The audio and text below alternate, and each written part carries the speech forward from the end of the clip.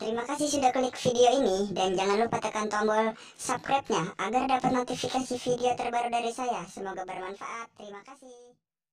Assalamualaikum warahmatullahi wabarakatuh Kembali lagi di channel Rian Oke teman-teman di video ini saya akan berbagi informasi kepada teman-teman lagi Nah jadi di video ini saya akan berbagi informasi Bagaimana sih cara menjual pulsa Agar sukses dan agar lancar e, Jadi saldo kita bisa tambah banyak Nah ini saya akan ngasih tips dan triknya untuk teman-teman yang mau usaha pulsa nih Oke, terima kasih.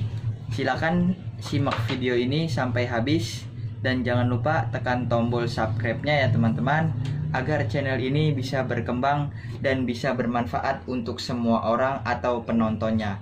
Oke, kita lanjut saja.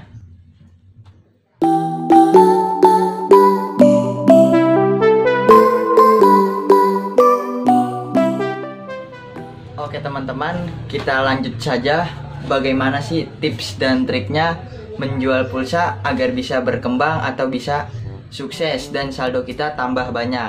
Nah, ini trik tips dari saya teman-teman. Ini menurut pengalaman saya waktu pertama kali saya menjual pulsa. Nah, yang pertama nih teman-teman menjadi downline. Menjadi downline itu seperti apa?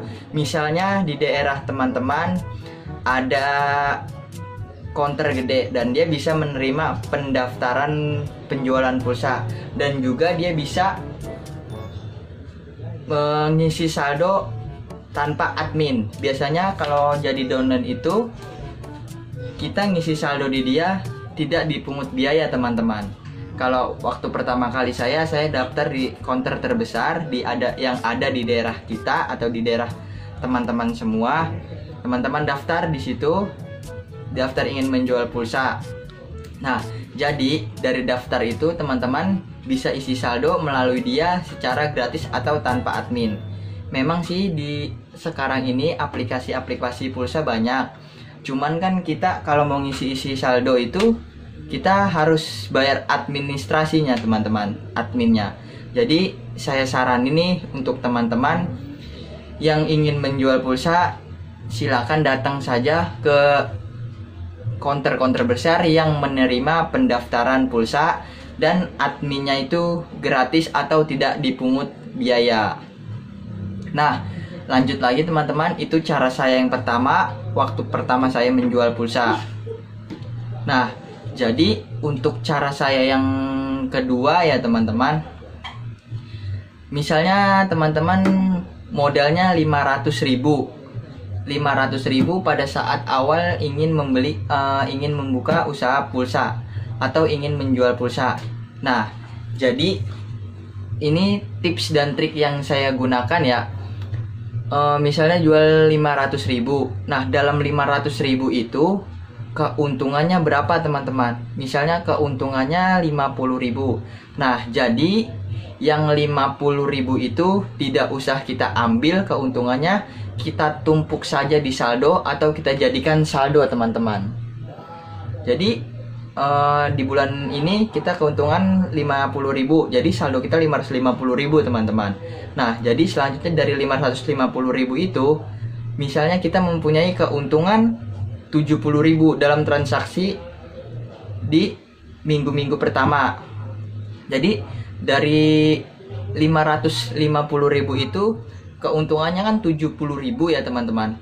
Nah jadi 70 ribu itu dimasukin ke saldo lagi teman-teman. Jadi kita mempunyai 550 ditambah 70 yaitu 620 ribu. Nah dari 620 ribu itu diolah terus menerus teman-teman sampai banyak. Pokoknya kita nggak usah ngambil keuntungan di awal aja yang penting lancar. Nah, ini oh, jadi waktu pertama kali saya menjual pulsa ya teman-teman dengan modal 590.000. Ini waktu waktu saya menjadi downline counter besar teman-teman. Saya cuma modal 590.000. Nah, ini alhamdulillah saldo saya sudah 9.749.665 rupiah.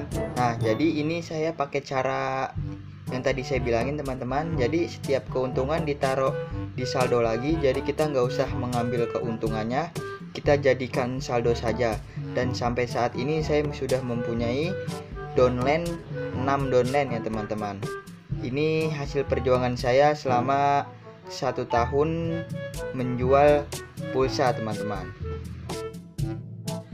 Nah jadi itulah teman-teman cara yang saya gunakan dalam merintis usaha pulsa atau menjual pulsa.